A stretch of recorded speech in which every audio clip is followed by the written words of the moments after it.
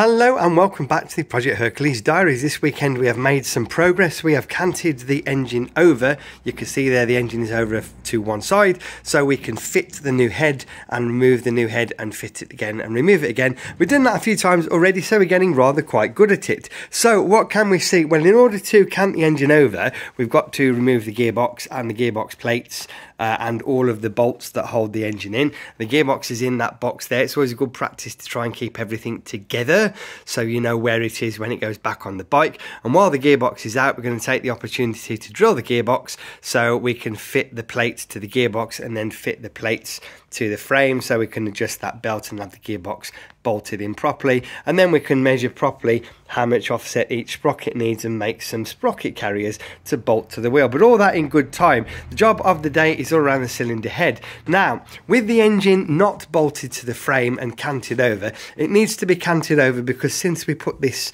gusset in we weren't able to remove or to fit the head with the engine in the frame.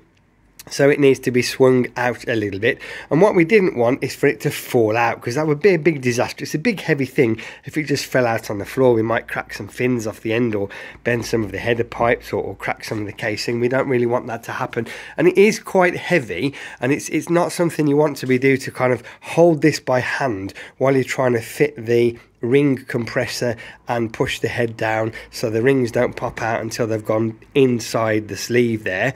Um, so I came up with a rather ingenious idea of using the chain that would normally go to the Dynastart, it's been the Dynastart and this is the chain, underneath the frame here with a bit of a pipe. So that chain is under tension. It allows the engine to lean away to a certain point and then stop.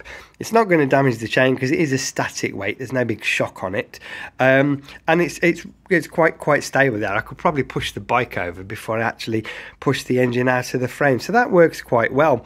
Um, so what have we done in terms of the head? Well, the head's gone in. The head's gone in with the um, rings on the head. We just put one of the rings on the head because that will give us about 95% of the compression.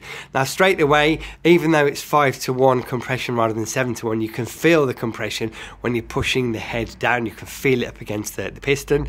When you connected up the Dynastart, you can see the, uh, the leads are on there to the Dynastart and we bowled it over. Now it doesn't... Um, turn the engine over anything like at the speed required to get it started. And we kind of knew that was the case, but I wanted to try it because what I didn't want to do is to make a great big decompressor and fit it to the head and get it all ready so it works really well. And then at some point in the future, somebody say, what happens if you don't use the decompressor? And we press the button and it starts just fine because that would be a little bit embarrassing. So um, we fitted that uh, and also, it would it, it, would mean if the starter motor did turn it over, we wouldn't have to make the decompressor. Now, we, we thought that was um, a bit of a vain hope, but we tried it anyway. So we definitely need to make and fit a decompressor. So the next job over in the shed, we're going to drill the holes that will be the exit holes for the air that comes out when the decompressor is in operation,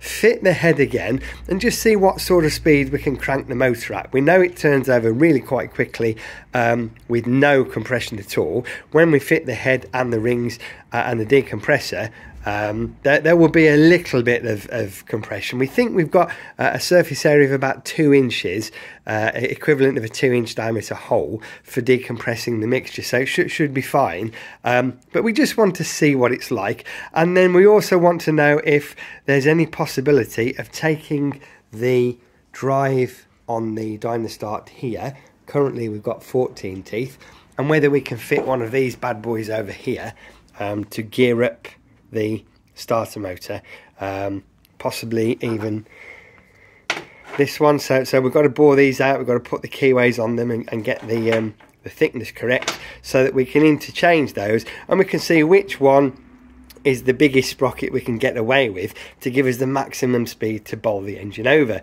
So all that's going to happen uh, the rest of the afternoon. With any luck, we're just in the process of drilling it next door in the other shed. So if we manage to get that far, I'll do a couple of videos of it turning over uh, and we'll post those later on today. If not, that'll be a next weekend job. So that's where we're at. That's exactly where we're at. That's the motor out to the side of it.